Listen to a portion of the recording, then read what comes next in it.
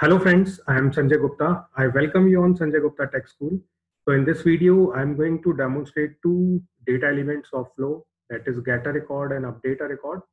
So for demonstration purpose, I'm going to use this example when uh, account uh, description field is updated at the time of account record creation or updation, then we need to update uh, description field of all related opportunities, right? So before starting, let me promote myself. So uh, if you want to follow Salesforce training videos, you can search my name Sanjay Gupta on YouTube and my channel will be there. So you can watch various uh, playlists related to Salesforce and other programming languages on my channel. So do follow it. So now coming on to the topic. So for this implementation, I'm going to create uh, auto launch flow. So you can search flow in quick find. So this screen will be available and you can click on this new flow button if you want to create a new flow. So I'm clicking on this button. So new flow will be created. So I'm choosing auto launch flow because this process will run in the background. So to implement this flow, I need account ID because I need to fetch all related opportunities. So we are going to call uh, further this flow with the help of process builder. So process builder will provide the account ID. So I'm going to create a new resource that is a variable and its name will be account ID. Its data type is text and it will be receiving the uh, ID of the account record uh, on uh, associated on which uh, we need to update the opportunities. Then second resource, I'm going to create one more variable that is description. So we need to receive the description from the account record so that we can populate that on related opportunities. So here also you need to check this checkbox as true because this should be available for input. So both these account ID and description will be passed from process builder to flow, right? Now, I'm going to create first this uh, get records data element. So here label is get opportunities, object is opportunity, So we need to fetch all the opportunities. Those are related to this account ID. So condition are met. So here we need to search the account ID, which is equals to account ID provided by the process builder. So opportunities will be fetched.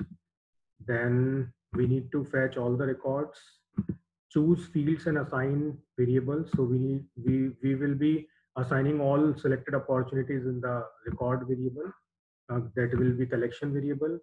So here I'm creating a variable. Its name is opportunity list. Its data type is record. Object is opportunity. Then don't forget to check this checkbox, allow multiple values because it will be storing multiple values and done, right? So this way opportunity list is created. Now uh, select opportunity fields to store in variable. So ID is by default selected. I am choosing description also because we need to fill this. And when no records are returned, uh, set spe specific values to null. So we can choose this as well. Sorry, don't choose this one. Click on done, right? So now I'm going to link this. Now, before moving further, uh, we need to put a decision here. Why decision? Because we need to check opportunity list, whether it is containing some values or it is null. So check for null.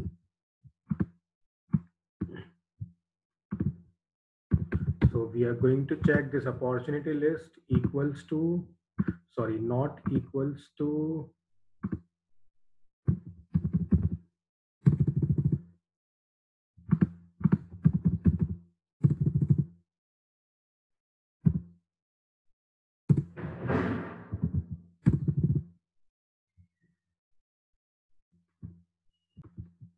So here, instead of choosing equal or does not equal, choose is null. And then uh, we can choose uh, global constant dot false.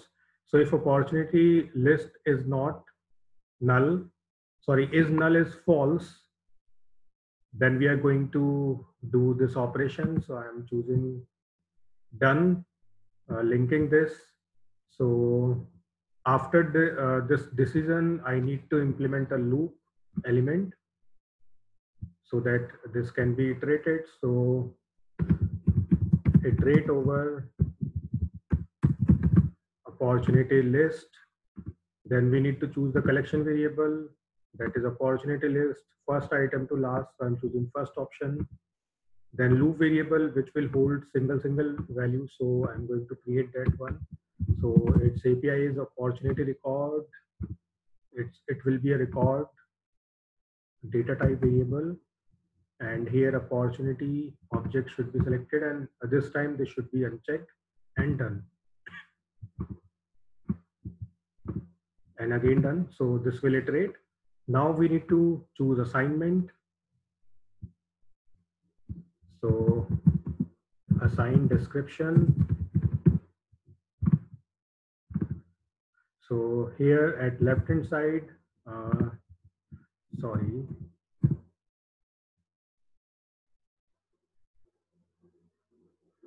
We need to select the opportunity record and dot description equals our simple description variable.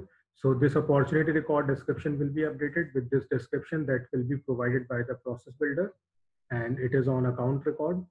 So I'm clicking on done, linking this. So for each item in the collection, done. I'm also connecting this. So here, uh, check for null. So we checked it. So if it is not null, then it will go here so let's say I am opening this and I'm putting label as not null. Right? So label will be not null and if opportunity list is null is false, then it will go further. It means your opportunity list is having some record that can be processed further. So here in this assignment, uh, this opportunity record is updated. So now uh, we need to put this into another list. So I'm creating one more variable, opportunity list to be updated. Its data type is record, allow multiple values, and it is related to opportunity object. Clicking on done, so now we need to uh, create one more assignment.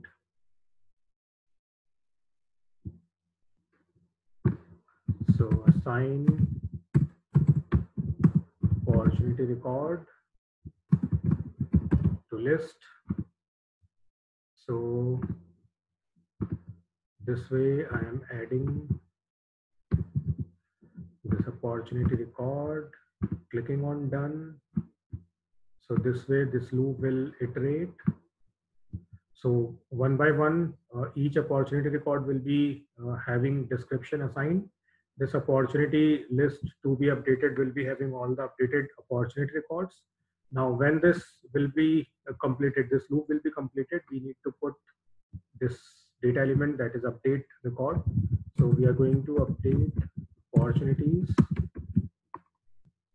then here two options are available, use the IDs and all fields from uh, record or record collection or specify records to identify record and set fields individually. So we are choosing first one because we have all values in this uh, record collection and I'm clicking on done. So whenever this loop will be completed, this update record data element will be executed. So after last item, this will work. So now I'm clicking on save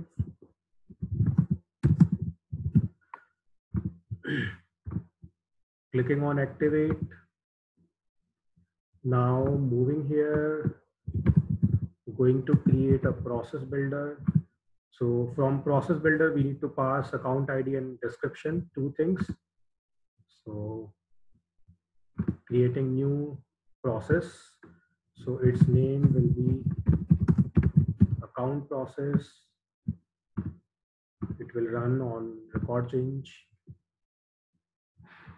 So from here, I'm choosing the object as account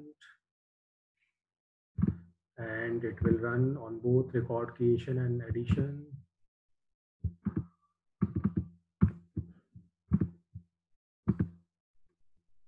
Now I need to add the criteria. So I'm checking description. So condition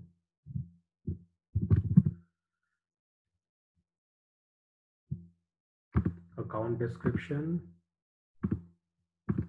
is null false and account description is changed is true. So if these two conditions are true then only we need to fire this process and immediate action will be call a flow and flow name is update opportunities and here we need to pass two values. So first i'm going to pass account id from here you need to choose field reference and you need to pass the id of the account.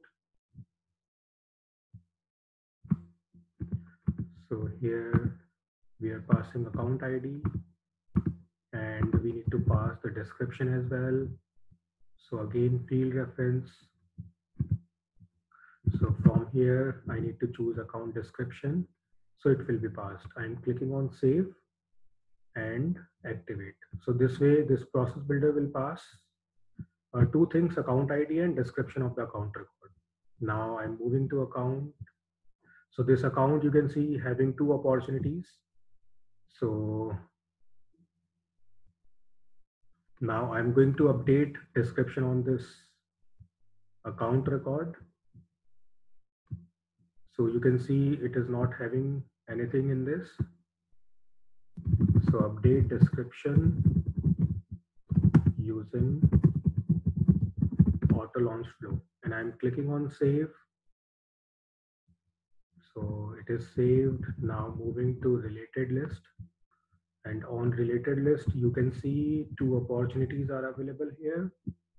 So I'm opening both so that we can test whether their descriptions are updated or not. So this is the details of first opportunity. So here you can see update uh, description using auto launch flow is available. And for another opportunity,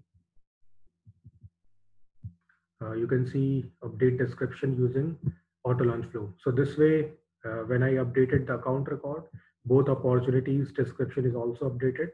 So we implemented this with the help of uh, process builder and auto launch flow.